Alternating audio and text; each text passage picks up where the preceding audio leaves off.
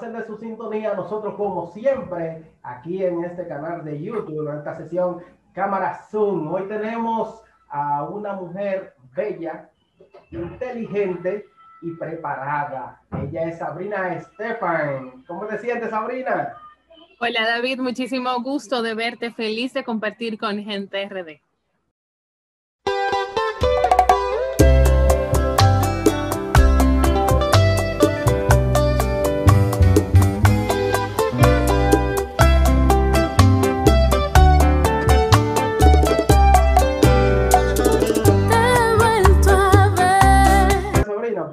Hemos estado viendo tu accounting report, llamémoslo así, y tú vienes de la música clásica, vienes del jazz, y ahora te atreves a hacer bachata. Tú lo dijo, mejor palabra no pudiste buscar, porque es fresquísima. Sí, Yo, fresquísima al fin. te iba a eh, decir que cómo, cómo te atreves.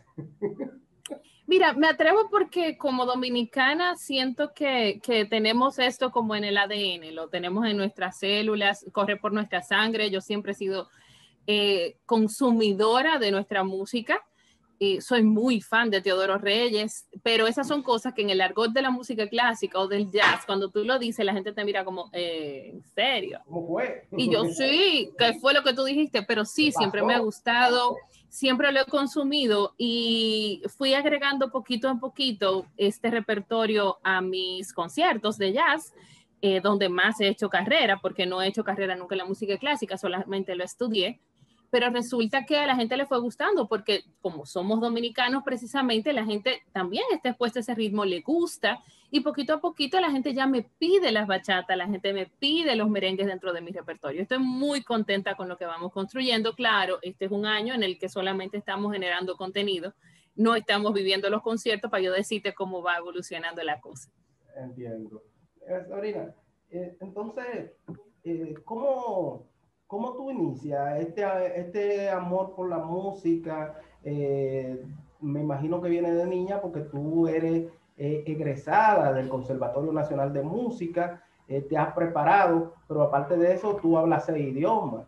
¿Cómo lo has podido hacer? yo no los hablo. Yo, yo, hablo tres idiomas. Yo hablo español, inglés y hablo portugués. Okay. Adicional a eso, puedo cantar en italiano y en francés, porque en el conservatorio te explican cómo cantar en los diferentes idiomas en los que están compuestas las óperas tradicionales. Entonces, aunque uno no los hable, tiene que aprender la fonética, tanto del italiano como el francés y un poquito del alemán, pero yo en el alemán no me meto, yo solo respeto, yo hasta ahí no llego, pero sí puedo cantar en cinco idiomas y estoy en esto desde muy chiquita. Yo canto desde que tengo como dos años de edad y formalmente estoy estudiando música desde los siete, con un hito que siempre lo comparto, de que yo digo que empecé la música profesionalmente el día que me pagaron.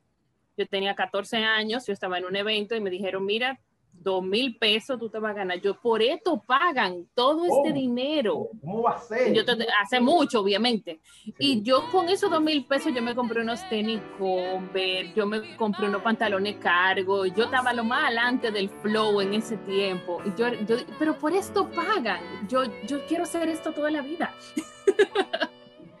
y ahí estoy, desde los ¿De, dónde, de, dónde tú eres? ¿De, de, dónde, de qué sector tú, tú eres? Yo soy de Santiago, de los Pepines de Santiago, de la zona monumental. Cuando tú llegas a Santiago, pasas el monumento, están las tres cruces, tú doblas ahí a mano derecha, bajando la RC Tolentino, ahí está el local donde estaba el negocio de mi familia, se llamaba Talanca, lugar de amigos, y al lado estaba mi casa. Entonces, eso es un sector muy bohemio, un sector del el área como de salir de Santiago, donde la gente se encuentra. Y imagínate, ¿Y, cómo, llega aquí a, eh, cómo llega aquí a la ciudad, ya al Distrito Nacional para estudiar? Por el, por el conservatorio, por el conservatorio, porque estudié música en el ICA, en el Instituto de Cultura y Arte en Santiago, pero allá no daban clases de canto. Y en ese momento mi intención era dar canto lírico. Entonces yo paralelo a mis clases de música en Santiago, yo venía una vez a la semana, eh, dentro, así desde los 14 hasta los 18, Estuve viniendo una vez a la semana a coger clases particulares aquí en Santo Domingo con una maestra maravillosa que se llama Marianela Sánchez. Y cuando estuve lista en cuanto a la edad mínima para entrar al conservatorio, pues me mudé y entré al Conservatorio Nacional de Música a seguir mi carrera. ¿Te mudaste sola? ¿No viniste con la familia? No, vine solita, me mudé en una habitación, en una, en una casa que alquilaban las habitaciones. De esa época recuerdo muchas cosas divertidas. Aprendí, tú, sabes, a valerme por mí misma. Ya a mí no me gusta. Sí, sí, atrevida de nacimiento. Yo vine solita y vine a vivir sola. O sea, yo tenía familiares aquí, pero yo decidí mudarme en ese espacio y te hago el cuento de que yo di que sabía valerme por mí misma, pero a mí nunca me gustó fregar pailas. Sí. Y en, esa, en ese sitio yo tuve que aprender a fregar mis pailas, porque la doña me decía, ella llegaba y veía mi reguero y ella me lo limpió una vez, más nunca. Yo dejaba la paila sucia y hasta que yo no limpiara mi paila no había paila para mí. Entonces aprendí en ese tiempo a valerme por mí misma de verdad. Y entonces, tú sabes que a las mujeres se le ha hecho difícil penetrar en la bachata entonces, eh, tú, tú, no encuentras una intérprete de bachata femenina que haya tenido esa pegada, que haya hecho ese boom. ¿Será tú la bachatera que el género ha estado esperando? Oye, ojalá y así sea, y que tus palabras eh, estén llenas de verdad. Eh, me encantaría. Pero tú sabes que el favor del público es algo con lo que, con lo que no se sabe. No se sabe. La, la mujer en la bachata eh, yo entiendo que nos ha faltado quizás el enfoque que el género necesita, nos ha faltado quizás la inversión, pero también es un tema de ser constantes, de ser coherentes. Tú sabes que la misma, la misma dinámica de la vida femenina cuando tenemos que involucrarnos con familia, no, no es lo mismo para dedicarse con constancia a lo que requiere esta carrera. Entonces, eso puede haber influido, como influyen muchísimos otros elementos. Yo tengo mucha fe, no solo en mi proyecto, eh, sino en el proyecto de muchas mujeres que hay, eh, aunque no seamos eh, tan visibles en este momento, excepto Alexandra, que gracias a Dios es una mujer que ha, poquito a poquito, tú siempre tienes que mencionarla dentro de los bachateros. Ah, está Alexandra, está Andrés Pelos, está André, Andreina, André Veloz, está eh, Rose, Rosalí, que, se, que la pueden conseguir como tu bachatera. A mí me fascina esa muchacha. Em, hay varias exponentes del género y involucrarme, como tú dices, para mí es un atrevimiento y ojalá contar con el favor del público para eso. Ojalá que sí. Tengo fe. Entonces, eh, Tú, aparte de eso, has hecho películas, no eres actriz. Eh, Me tiene un alto espíritu. No, no, no, yo, yo salgo siete segundos en Netflix. Eso no es hacer película. pero, pero eh, sabemos que eres actriz, que ha participado también en Soy actriz, sí. Sí, así sí es. Y tuve la oportunidad de cantar en el soundtrack de una película que me dio hasta un premio y eso me llena de, mucho orgullo. Sí, sí, sí, es una, una canción muy sentida, la pueden conseguir en, en las plataformas digitales, esa canción que se ganó el Iris, esa canción se llama Crónica de Flor, es de la película Cuentas por Cobrar, y es una canción súper triste donde van a conocer una faceta de mí más hacia la interpretación de la música, y creo que eso fue lo que vieron las críticas de Amucine cuando nos dieron el premio, porque fue bien retador para mí. Yo tuve que ir a estudio tres veces a grabar esa canción, porque se decía, todo el mundo a nivel musical, sí, está hermoso, qué lindo, pero el director decía, no, yo quiero todavía que se llore más, yo necesito que la gente jimique en el escena cuando estén ahí en la sala de cine. Y creo que lo logramos, lo logramos. ¿Cuáles son esos proyectos futuros que podemos esperar eh, en futuro inmediato de Sabrina Mira, yo tengo la tengo desde hace tres años eh, un bebé que se está gestando. Me ha costado más que un parto de elefante, pero gracias a la pandemia hemos adelantado tanto y como hemos tenido que rediseñarnos hacia la grabación, eh, puedo decirte que mi disco está a un 90% y que lo voy a lanzar a principios del año que viene, en el primer trimestre. Y hacer un disco para mí es un sueño cumplido de, muchas cosas. Expresar, poderle contar a la gente una historia por la que pasé y en esa ahí voy contando todo el ciclo de una separación y cómo me he recuperado y poder presentar mis condiciones vocales, artísticas y con los musicazos que puedo contar en este disco, en este proyecto que se han unido como esta canción nueva que es parte del disco que se llama Vuelve a mí, que cuenta con Mártires de León produciendo. Y tú no te imaginas el honor. Tengo músicos de Puerto Rico, de Cuba trabajando también. Estoy muy contenta con lo que se está generando con este proyecto y eso es lo que viene de forma inmediata. Bien, y entonces, eh, ¿qué hacemos con esa con esa carrera y con la gente que te va a querer seguir viendo en un área más clásica de la música? ¿Tú crees que me quieran ver en la, en la área más clásica de la música? Yo tengo, ¿qué te digo? En el disco van a escuchar algunos temas que cuentan esta parte de mí, eh, que que tienen esa influencia de, de, mi experiencia en el jazz y en el disco están recogidas. Para ese público que me sigue desde hace más de 10 años en ese género, eh, porque es mi esencia, es parte de mí. Y en el disco lo van a encontrar, o sea que no sé, no los voy a olvidar, no los tengo rezagados, van, están ahí, convergen los géneros en los que, en los que tengo y el público que he ido ganando. Bueno, este, muy interesante que la gente pueda disfrutar. Y, lo bonito es que no se pierda esa esencia musical eh, de donde viene, no se pierda en este caminar por lo popular. Pero fíjate que el gran éxito de Juan Luis Guerra es que es un músico formado, así como lo eres tú, pero que le puso toda la esencia de eso a lo popular, al merengue, a la bachata eh, y eso es lo que creo que vemos en Sabrina Estefan cuando, cuando decide entrar eh, a este mundo tan popular. Y, pongo de ejemplo eh, la interpretación que hiciste de la canción de Winnie Houston, que fue algo que llamó mucho la atención del público. Escuchar en bachata ese temazo con la interpretación que Gracias. Mira, primero un orgullo que, que puedas ponerme en un símil junto a Juan Luis Guerra porque es una de las figuras que más destacadas de, nuestro género y de nuestro arte en sentido general. Eh, como bien se acaba de designar marca país, yo creo que él lo representa en toda su esencia, en toda su trayectoria. Siempre ha sido marca país.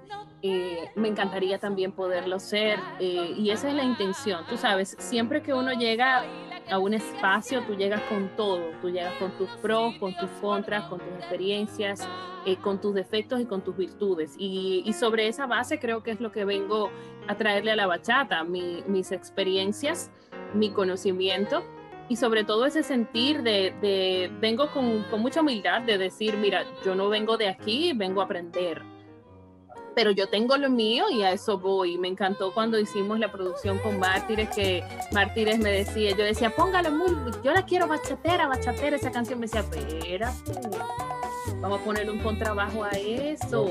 Digo, pues si tú le vas a poner contrabajo, espérate, mira, vamos a ponerle el piano de esta manera y de esta manera. Dice, tú ves, tú ves, Sabrina, que así se oye de ti y de mí.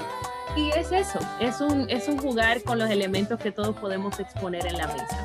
Y, vuelve a mí, tiene ese sonidazo, ese, ese, esa esencia como de los dos mundos. Qué bueno que te gustó I Have Nothing, un gran reto para mí cantar a Whitney Houston en bachata. No por cantar a Whitney Houston con toda la pretensión, tú sabes, de diva, de que yo la puedo cantar, pero que realmente canta eso nítido a la velocidad de la bachata y con gusto bachatero, para mí eso fue lo difícil. Eso fue Mira, Sabrina, eh, una última pregunta. Eh, ¿Tú estás en, las fiestas que va a ser el gobierno? ¿Te, incluyeron? No, no estoy en esa lista. Eh, creo que las matemáticas ahí para la división como que no funcionaron muy bien, porque si tú divides 100, 100 millones entre 70, la distribución como que salta para todo el universo que tenemos de artistas eh, grandes y maravillosos que han tenido una pandemia muy retadora, artistas tan grandes como mi profesora Marianela Sánchez, mis profesores de música, todos eh, han vivido una situación bastante compleja, todos los profesores del conservatorio, el sector del jazz, los músicos. Eh, Fefita está en la lista, pero yo tuve un encuentro con ella y realmente es retador hasta para Fefita, que tenido una carrera larga. Eh, esta situación, gracias a Dios, fue beneficiada. Lo que veo mal del proceso ni siquiera son los 70 seleccionados, sino la forma, porque las leyes están ahí, la ley de compras públicas es del 2006 y ya es tiempo de que todos los dominicanos estemos empoderados de nuestra normativa. Eh, los que llegan nuevos no es excusa para decir no conocía la norma, eh, porque están ahí. Así que si se respetaron los procesos, bueno, pues maravilloso sea y que los beneficiarios sean. Pero por lo visto no se respetaron los procesos y la invitación es a que se sancione si amerita sancionarse. Bueno, y también que eh, ellos son los que han puesto el tema de, de, la transparencia y que han este, destapado una olla de grillo con todo lo que tiene que ver con los asuntos de corrupción. Bueno, pues entonces ellos tienen que cumplir el doble de lo que los demás. Así mismo es, hay que ser congruente en todo nuestro accionar y tenemos que ser coherentes. Eh, cuando tú dices una cosa, debe estar alineado tu pensamiento, tus palabras y tus acciones. Si no, no eres coherente. Bueno, Sabrina, gracias. Yo creo que hemos tenido una conversación muy interesante, que hemos tratado todos los temas, tanto de tu trayectoria como de la nueva música que tú has producido en este 2020, pese a la pandemia.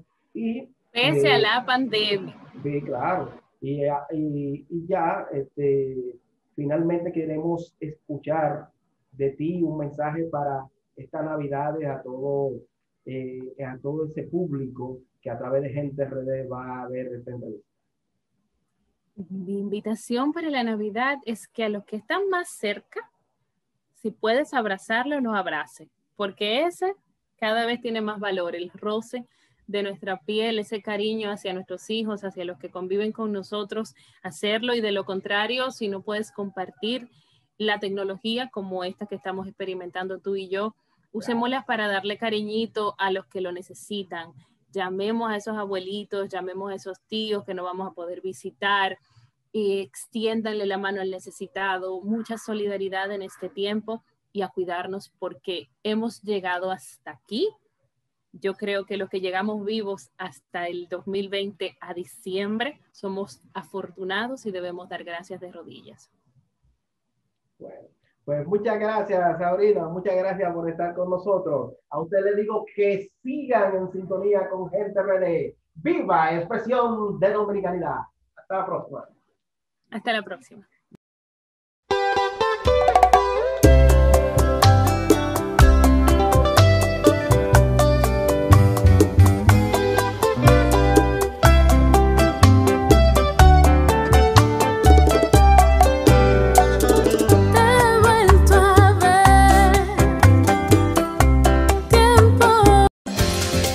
La página de espectáculo y entretenimiento más actualizada.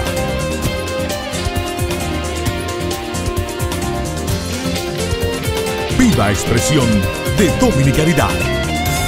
GenteRD.com